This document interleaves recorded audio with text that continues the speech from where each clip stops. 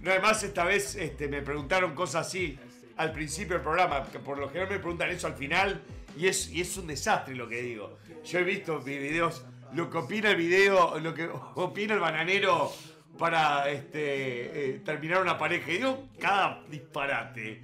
Digo, yo no puedo creer que la gente después lee los comentarios y hay alguno que dice, el bananero está en pedo y no sabe lo que está diciendo.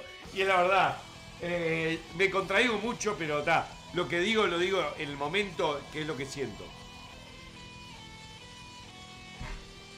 Qué rica la birra, me voy a un pucho.